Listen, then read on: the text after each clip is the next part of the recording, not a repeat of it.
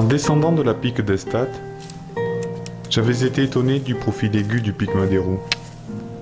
C'était un rocher isolé et à pic qui se dressait au-dessus de la vallée de Soulsem, entre les deux vallées du Rio Frais et de la Gardelle.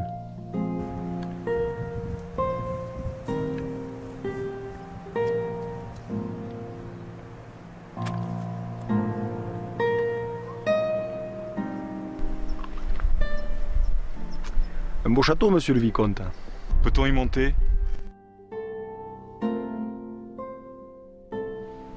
Je pense que oui. Pour en être plus sûr, on m'a demandé à Pepe Luis. C'est un ami berger du Carla. Il a son nourri un peu plus bas au plat de Soupçon.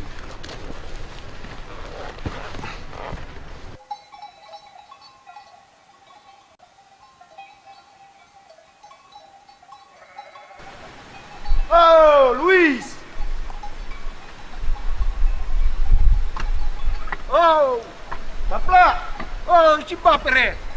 Che fa? Sformagge? Oh! Come? Va, va bene?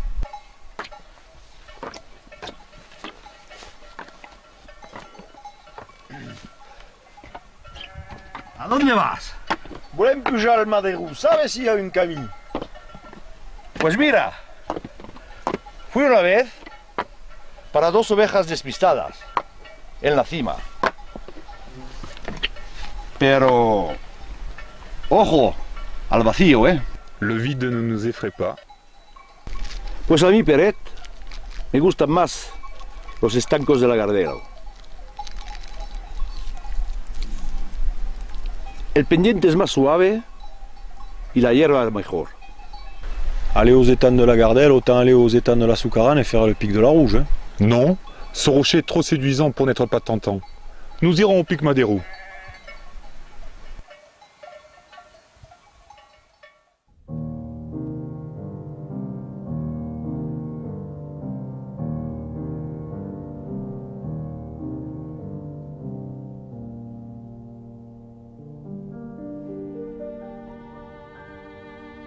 Vic de Sceaux a un charme particulier. C'est un trait d'union entre la vie civilisée de la plaine et la vie solitaire et sauvage de la montagne. Aussi, je ne manque jamais de m'y arrêter, malgré le peu de confort qu'il m'offre.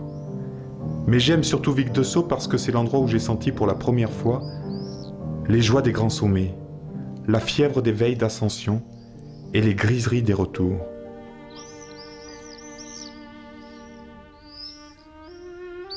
Tout ceci me laissait rêveur. Il me fallait encore cette conquête. C'était une arête régulière de granit à silhouette élégante qui montait verticale dans les airs.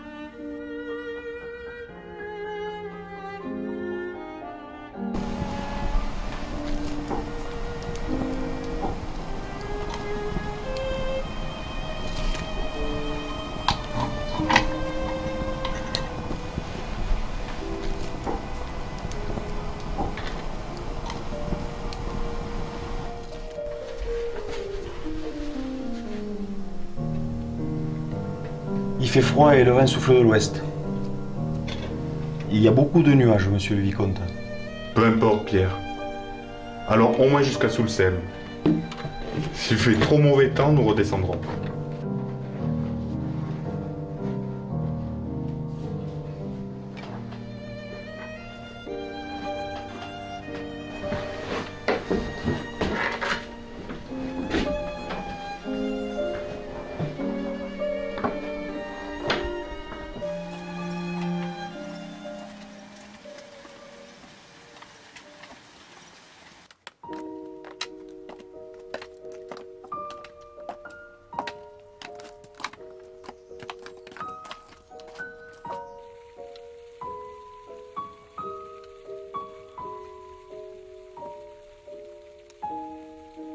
Nous passons comme de coutume à travers les hameaux de Mounikou, de Rouzaoudi et de Carafa. Noms étranges, qui ont pour moi une saveur spéciale parce qu'ils me rappellent la montagne.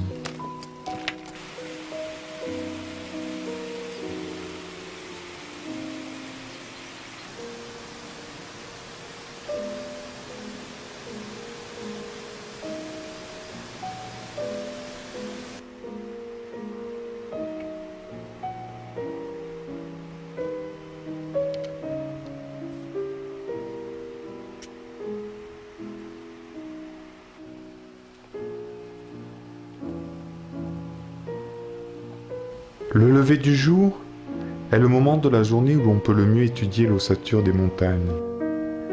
Avec la lumière, les contours deviennent moins fixes et la couleur prend trop d'importance au détriment de la ligne. Le matin, c'est l'heure du sculpteur. Le soir, celle du peintre. À 8h20, nous débouchons sur le plat de Soulsem. Le vent souffle toujours.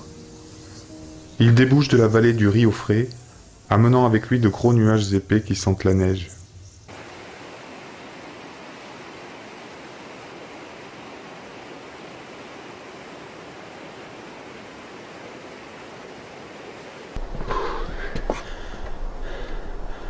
Le temps se met au bout, monsieur. Je pense que nous allons avoir une belle journée. Laissons la cape et la capette sous ce rocher et donnez-moi la corde. C'est par le côté de la Gardée qu'il faut attaquer le pic. Par le côté du Rio frais, ce serait folie.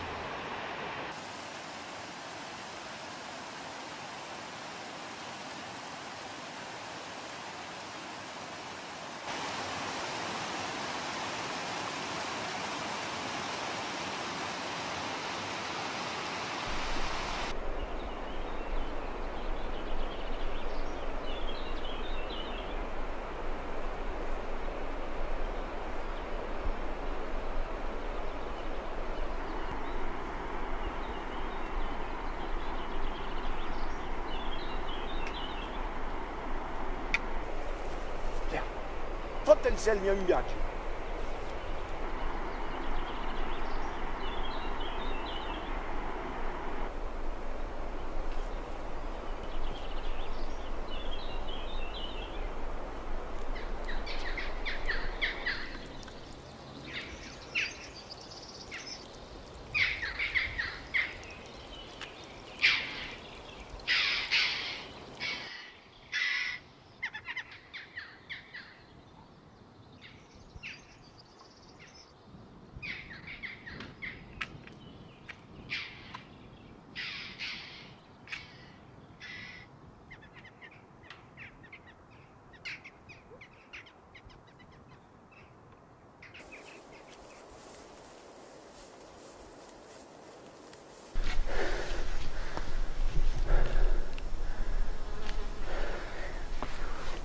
Bon, maintenant, on se déchausse.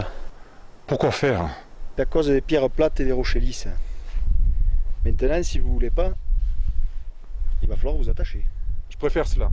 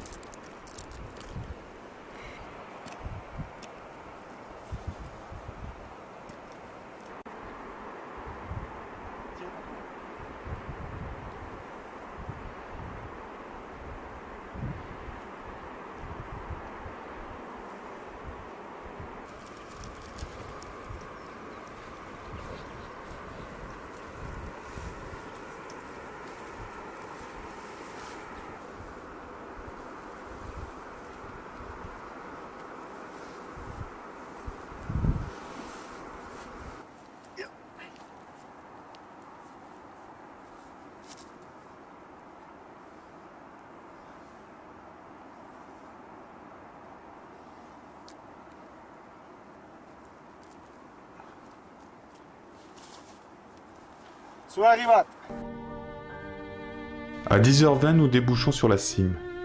Le baromètre donne 2050 mètres.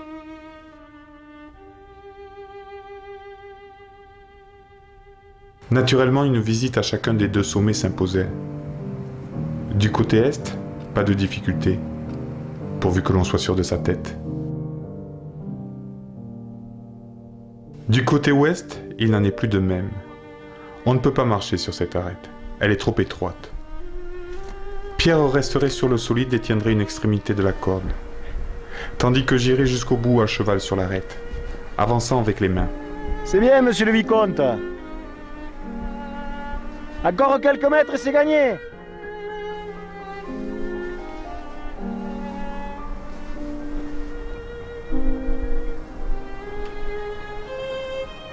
Revenez en arrière, de la même façon. Ne craignez rien. Je vous assure sec.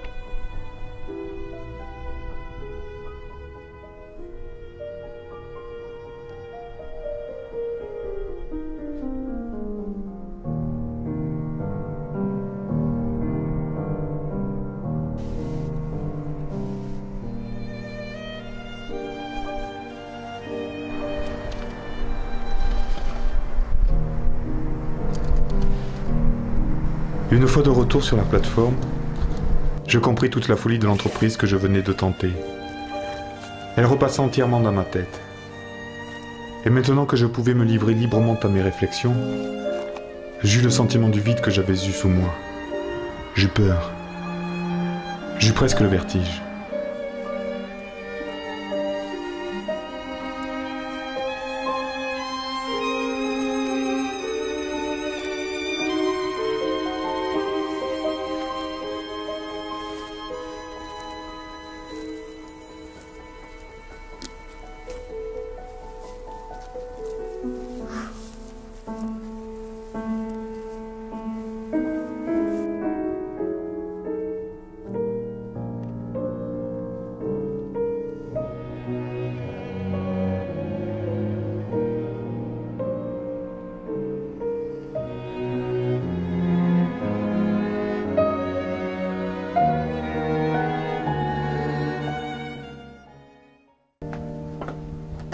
Il est 7 heures quand je traverse Ozat.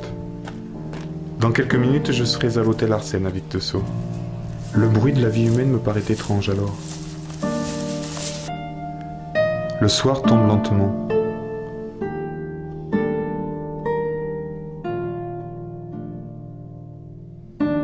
Le soleil n'éclaire bientôt plus que les sommets des pics.